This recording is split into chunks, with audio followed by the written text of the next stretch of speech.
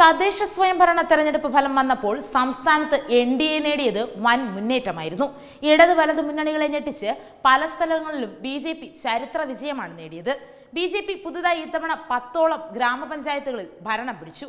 നാലോളം ഇടങ്ങളിൽ ഏറ്റവും വലിയ ഒറ്റകക്ഷി എന്ന നിലയിൽ ഇടത് വലത് കക്ഷികൾക്കൊപ്പം എത്തിയിരിക്കുകയാണ്. അതേസമയം വർക്കല കൊടുങ്ങല്ലൂർ നഗരസഭകളിൽ ഒരു സീറ്റിനാണ് പിന്നിലായത്. എന്നാൽ പാലക്കാട് ഇത്തവണ തൂത്തുവാരുന്ന കാഴ്ചയാണ് നാം കണ്ടത്.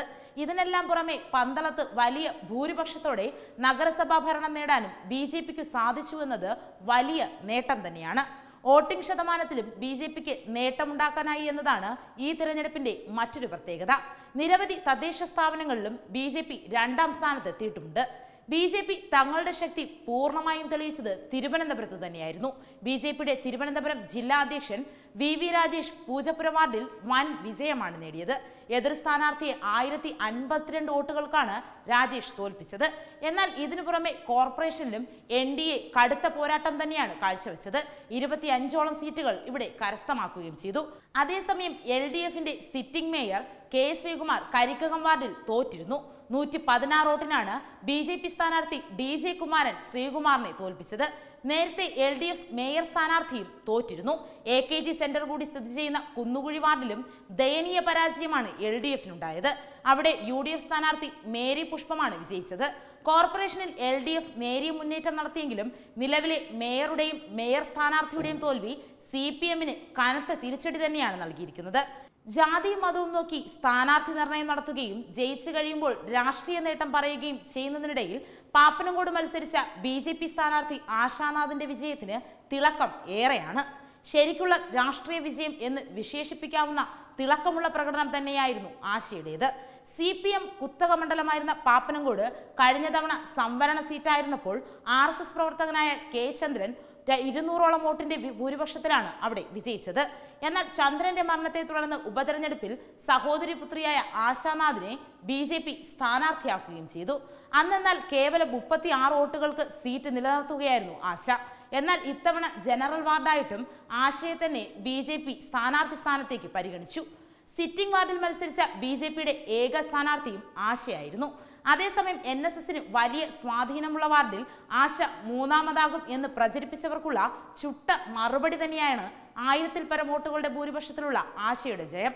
ഇതിനു പുറമെ മുസ്ലിം മതതീവ്രവാദ ശക്തികൾ കുത്തിക്കൊന്ന എസ് എഫ് ഐ നേതാവ് അഭിമന്യുവിന്റെ വീടിരിക്കുന്ന വാർഡിലും ബി ജെ പിക്ക് വൻ വിജയമാണ് നേടാൻ സാധിച്ചത്.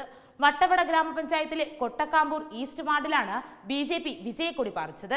എസ് ഡി പി ഐ പ്രവർത്തകർ കുത്തിക്കൊന്ന അഭിമന്യുവിന്റെ വീട് സ്ഥിതി ചെയ്യുന്ന വാർഡിൽ മൂന്നാം സ്ഥാനത്തെത്താൻ മാത്രമാണ് എൽ ഡി എഫിന് സാധിച്ചത്.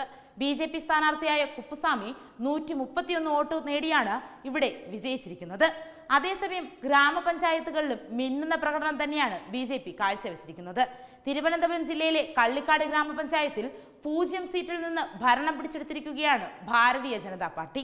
പഞ്ചായത്തിൽ ബി ജെ പി തിളക്കമാർന്ന വിജയം തന്നെയാണ് കരസ്ഥമാക്കിയിരിക്കുന്നത്. കഴിഞ്ഞ പഞ്ചായത്ത് ഭരണസമിതിയിലെ ഒരംഗം പോലുമില്ലാതെ ബി ജെ പി ഗ്രാമപഞ്ചായത്തിൽ ഏറ്റവും വലിയ ഒറ്റകക്ഷിയായി മാറിയിരിക്കുകയാണ്. പതിമൂന്ന് സീറ്റുകളുള്ള പഞ്ചായത്തിൽ എൽ ഡി എഫിന് ഏഴ് സീറ്റും യു ഡി എഫിന് ആറ് സീറ്റും ഒരു സ്വതന്ത്രനുമാണ് രണ്ടായിരത്തി പതിനഞ്ചിൽ വിജയിച്ചത്. ഇവിടെ നിന്നാണ് ഇത്തവണത്തെ തെരഞ്ഞെടുപ്പിൽ കള്ളിക്കാട് പഞ്ചായത്തിലെ ഏറ്റവും വലിയ ഒറ്റകക്ഷിയായി ബി ജെ പി മാറിയിരിക്കുന്നത്. ആറ് സീറ്റുകൾ നേടിയാണ് ബി ജെ പി ഏറ്റവും വലിയ ഒറ്റകക്ഷിയായത്. യു ഡി എഫ് നാല് സീറ്റുകൾ നേടിയപ്പോൾ പഞ്ചായത്ത് ഭരിച്ചിരുന്ന എൽ ഡി എഫിന് മൂന്ന് സീറ്റുകൾ നേടാനേ സാധിച്ചുള്ളൂ. അതേസമയം പഞ്ചായത്ത് പ്രസിഡന്റ് ജെ ആർ അജിതയെ മൈലക്കര വാർഡിൽ ബി ജെ പി സ്ഥാനാർത്ഥിയാണ് പരാജയപ്പെടുത്തിയത്. ഇരുപത്തിയഞ്ച് വർഷമായി സി പി എം കുത്തകയായി നിലനിർത്തുന്ന ഈ സീറ്റിൽ നാൽപ്പത്തി മൂന്ന് വോട്ടിന്റെ ഭൂരിപക്ഷത്തിൽ എസ് എസ് അനിലയാണ് വിജയക്കൊടി പാറിച്ചത്. നിലവിലെ പഞ്ചായത്ത് വൈസ് പ്രസിഡന്റ് ഷ്യാംലാലും ദയനീയമായി പരാജയപ്പെടുകയായിരുന്നു. പതിമൂന്ന് വാർഡുകളുള്ള പഞ്ചായത്തിൽ പതിനൊന്ന് വാർഡുകളിലാണ് ബി ജെ പി മത്സരിച്ചത്. കാസർഗോഡ് ജില്ലയിലും മിന്നുന്ന പ്രകടനമായിരുന്നു എൻ ഡി എ കാഴ്ചവെച്ചത്.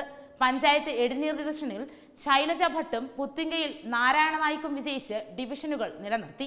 കാസർഗോഡ് നഗരസഭയിൽ കോൺഗ്രസിൽ നിന്ന് ഒരു സിറ്റിംഗ് സീറ്റ് പിടിച്ചെടുത്ത് പതിനാലായി എൻ ഡി എ സീറ്റ് നില ഉയർത്തി മുഖ്യ പ്രതിപക്ഷമായി മാറിയിരിക്കുകയാണ്. മധൂർ വെള്ളൂർ പഞ്ചായത്തുകളും നിലനിർത്തി.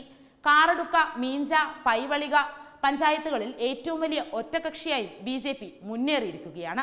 ബദിയെടുക്ക മഞ്ചേശ്വരം കുമ്പള കുമ്പടാജെ പഞ്ചായത്തുകളിൽ യഥാക്രമം എട്ട് ആറ് ഒൻപത് ആറ് സീറ്റുകൾ വീതം എൻ ഡി എയും യു ഡി എഫും നേടി. കാഞ്ഞങ്ങാട് നഗരസഭയിൽ ബി ജെ പി അഞ്ചിടത്താണ് താമര വിരിയിച്ചത്. നീലേശ്വരം നഗരസഭയിലെ പടിഞ്ഞാറെ കൊഴുവയൽ വാർഡിൽ വാശിയേറിയ പോരാട്ടത്തിനൊടുവിൽ മൂന്ന് വോട്ടുകൾക്കാണ് എൻ ഡി എ സ്ഥാനാർത്ഥി എം യമുന അടിയറവ് പറഞ്ഞത്. ഇടതു മുന്നണികളെ ഞെട്ടിച്ചുകൊണ്ട് യമുന മുന്നൂറ്റി അൻപത്തിയഞ്ച് വോട്ടുകൾ നേടി തിളക്കമാർന്ന പ്രകടനം തന്നെയാണ് അവിടെയും കാഴ്ചവെച്ചത്. എൻ ഡി എ കാസർഗോഡ് ഗ്രാമപഞ്ചായത്തുകളിൽ നൂറ്റി പതിനൊന്ന് സീറ്റുകൾ പതിമൂന്ന് ബ്ലോക്ക് പഞ്ചായത്ത് ഡിവിഷനുകൾ എന്നിവിടങ്ങളിൽ ചരിത്ര വിജയം തന്നെയാണ് നേടിയത്. അതോടൊപ്പം കടലോര മേഖലകളിലെ വാർഡുകൾ പിടിച്ചെടുത്ത് ഉദുമ കാസർഗോഡ് മണ്ഡലങ്ങളിലെ തീരപ്രദേശങ്ങളിൽ മത്സ്യത്തൊഴിലാളികൾക്കിടയിലും എൻ ഡി എ തരംഗം സൃഷ്ടിച്ചിട്ടുണ്ട്. പല പഞ്ചായത്തുകളിലും ബി ജെ പി നിർണായക ശക്തിയായും മുഖ്യ പ്രതിപക്ഷമാവുകയും ചെയ്ത് ശക്തമായ മുന്നേറ്റം തന്നെയാണ് ജില്ലയിൽ നടത്തിയിരിക്കുന്നത്. കെ പി സി സി സെക്രട്ടറിയുടെ ഉൾപ്പെടെ യു ഡി എഫിന്റെ പല പ്രമുഖരും ഇവിടെ പരാജയപ്പെട്ടു. കോമാലി സഖ്യമുണ്ടാക്കി ത്രിതല പഞ്ചായത്തുകളുടെ ഭരണത്തിൽ നിന്ന് ബി ജെ പി മാറ്റി നിർത്താൻ ഇടത് വലതു മുന്നണികൾ ഗൂഢനീക്കം നടത്തിയിരുന്നു. ആ വൃത്തികെട്ട നീക്കങ്ങൾക്ക് കാസർഗോഡ് ജനത നൽകിയ ചുട്ട മറുപടി തന്നെയാണ് കാസർഗോഡ് ജില്ലയിലെ ബി ജെ പിയുടെ ഈ തിളക്കമാർന്ന വിജയം. അതേസമയം ഇത്തവണത്തെ തിരഞ്ഞെടുപ്പിൽ പ്രചാരണം നടത്തി വ്യത്യസ്തരായ നിരവധി സ്ഥാനാർത്ഥികളുടെ വൻ വിജയങ്ങളും നാം കാണുകയുണ്ടായി. സി പി എം കോട്ടയായ കുറിച്ചി പഞ്ചായത്തിൽ നിന്ന് മുന്നൂറിൽ പരം വോട്ടിന്റെ ഭൂരിപക്ഷത്തിൽ നേടിയ ഒരാളുടെ വിജയം ഇന്ന് സോഷ്യൽ മീഡിയയിൽ ചർച്ചയായിരിക്കുകയാണ്. തിരഞ്ഞെടുപ്പിൽ ഒരു പോസ്റ്റർ പോലും ഒട്ടിക്കാതെ പ്രചരണത്തിന്റെ പൈസ മുഴുവൻ വാർഡിലെ നിർധനനായ ഒരു വ്യക്തിക്ക് വീട് വെക്കാൻ നൽകിയാണ് ബി ജെ പി സ്ഥാനാർത്ഥിയായ ബി ആർ മഞ്ജീഷ് എന്ന സ്ഥാനാർത്ഥി മറ്റുള്ളവരിൽ നിന്നും വ്യത്യസ്തനായത്. പരസ്യവും പ്രചാരണവുമില്ലാതെ ജയിക്കാൻ പറ്റുമോ എന്ന് പലരും ആശങ്കപ്പെട്ടെങ്കിലും ഫലം വന്നപ്പോൾ കോട്ടയം ജില്ലയിലെ കുറിച്ചി പഞ്ചായത്തിൽ പുളിമൂട്ടിൽ നിന്നും ജനവിധി നേടിയ ബി ജെ പി സ്ഥാനാർത്ഥി ബി ആർ മഞ്ജീഷ് മുന്നൂറിൽ പരം വോട്ടിന്റെ വൻ ഭൂരിപക്ഷത്തോടെയാണ് വിജയക്കൊടി പാറിച്ചത്.